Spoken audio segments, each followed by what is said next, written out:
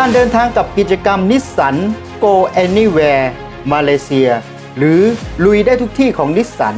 ผ่านภูมิประเทศที่หลากหลายของมาเลเซียในครั้งนี้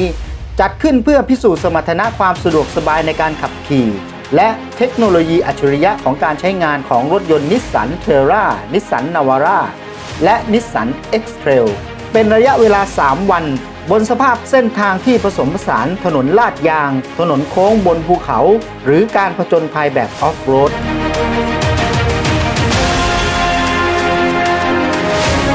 สวัสดีครับแฟนๆรายการทุกท่านวันนี้ผมอยู่ที่หาดใหญ่สงขลานะครับ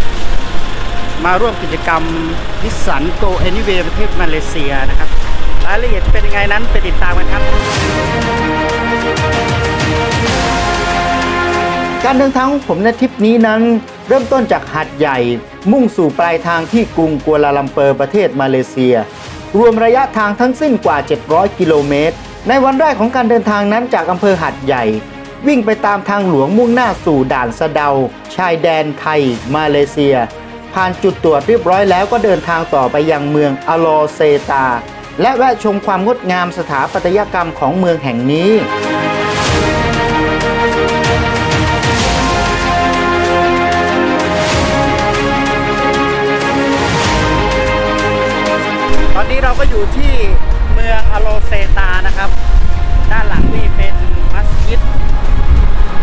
นี้นะครับ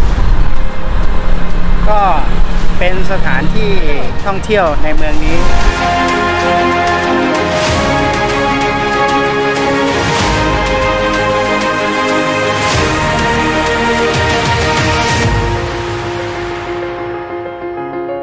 หลังจากนั้นเราก็เดินทางต่อไปยังจุดที่พักเจไรฮิลรีสอร์ทซึ่งมีความสูงกว่าระดับน้ำทะเลถึง 1,800 เมตร จากทางขึ้นถึงที่พักเป็นทางขึ้นเขาระยะทางประมาณ 12 กิโลเมตรสองข้างทางเป็นป่าบรรยากาศดีใช้ได้เลยทีเดียว ในช่วงนี้เทคโนโลยีความปลอดภัยขั้นสูงของ Nissan Intelligent Mobility ก็ได้ถูกใช้ประโยชน์ไม่ว่าจะเป็นกล้องมองภาพรอบทิศทาง และระบบช่วยการออกตัวขณะอยู่บนทางลาดชัน รวมระยะทางของการเดินทางในวันแรกนั้นใช้ระยะทางประมาณ 182 กิโลเมตร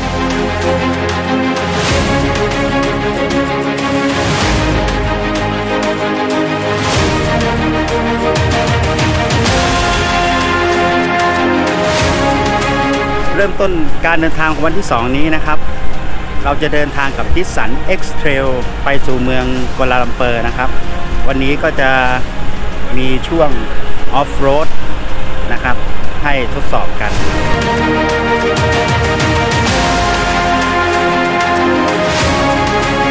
ในวันที่ 2 นี้นั้นเราเริ่มต้นจากเจไรฮิล การเดินทางในช่วงนี้เป็นการเดินทางบนทางหลวงเป็นระยะทางไกล สามารถใช้เทคโนโลยีควบคุมความเร็วอัตโนมัติใน Nissan X-Trail ซึ่งจะรักษาระยะห่างตามความเร็วของรถคันหน้าที่ตั้งค่าไว้ ก็สามารถช่วยลดความเมื่อยล้าได้ดีเลยทีเดียว ระหว่างทางเราพักเบรกที่ปราสาทเคลลี่ และแวะถ่ายรูปเยี่ยมชมความงามกันสักครู่ แล้วก็เดินทางกันต่อ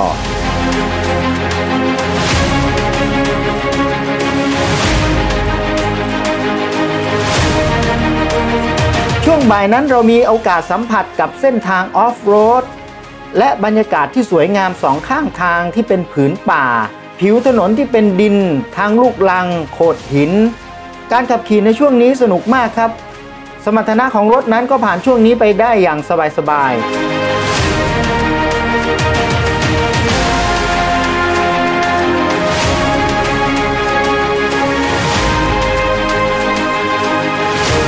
จากที่ออกมาจากเเส้นทางออฟโรดนะครับ เราก็มาถึงจุดที่เรียกว่า Hideout นะครับ จุดนี้ก็เป็นที่ที่ทำกิจกรรมตามปกติแล้วนี่ก็ให้ให้คนมาแคมปิ้งหรือว่ากิจกรรมต่างๆ อะไรประมาณนี้นะฮะกิจกรรมแอเวนเจอร์นะครับ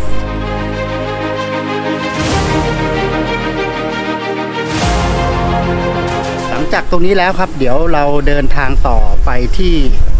กัวลาลัมเปอร์ครับปลายทางวันนี้ครับ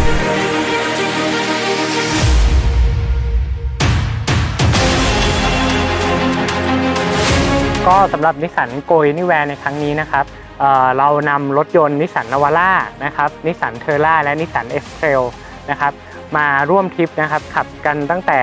อออำเภอหาดใหญ่จังหวัดสงขลานะครับ ผ่านเข้ามาที่ด่านนะครับ จากเมืองออตาซิลอนะครับ จะกำลังเดินทางไปสู่กัวลาลัมเปอร์ นะครับแล้วเราก็จะวนรอบขึ้นไปนะครับถึงเเมืองกวนตันนะครับมาลากาก่อนที่จะกลับไปที่ปีนังนะครับแล้วก็กลับไปที่หัดใหญ่นะครับ ระยะทางรวมมากกว่า 2,000 กิโลเมตรนะครับที่เราจัดกิจกรรมครั้งนี้ขึ้นมาเนี่ยเพราะเราอยากให้กับเสื่อมวลชนเนี่ยได้สัมผัสกับความสะดวกสบายนะครับ สมรรถนะนะครับแล้วก็เทคโนโลยีฟีเจอร์ต่างๆ ที่สามารถทำให้ผู้ขับขี่รถยนต์นิสสันทุกรุ่นเนี่ย นะครับสามารถเดินทางได้อย่างมั่นใจนะครับเดินทางได้อย่างปลอดภัย แล้วก็สนุกไปกับการเดินทางนะครับที่เราเลือกอในประเทศมาเลเซียครั้งนี้นะครับเพราะว่าสภาพภูมิประเทศนะครับที่มีความหลากหลายตั้งแต่ป่าดิบชื้นนะครับบนถนนบนทางหลวง หรือว่าวิ่งเข้าไปในเมืองกัวลาลัมเปอร์นะครับซึ่งการจราจรก็คล้ายๆ กับในกรุงเทพเรานะครับเเพื่อให้ทุกท่านเนี่ยได้สัมผัสกับเเส้นทางในแต่ละรูปแบบนะครับรวมถึงเส้นทางที่เป็นออฟโรด ด้วยนะครับ เพราะว่าในเส้นทางแบบออฟโรดเนี่ยรถจะแสดงสมรรถนะนะครับที่ปกติเราไม่ได้ใช้ในชีวิตประจำวัน แต่ว่าเมื่อเราอยากประจนภัยเมื่อไหร่นะครับรถทั้ง 3 รุ่นนี้ก็สามารถพาคุณไปได้ทุกที่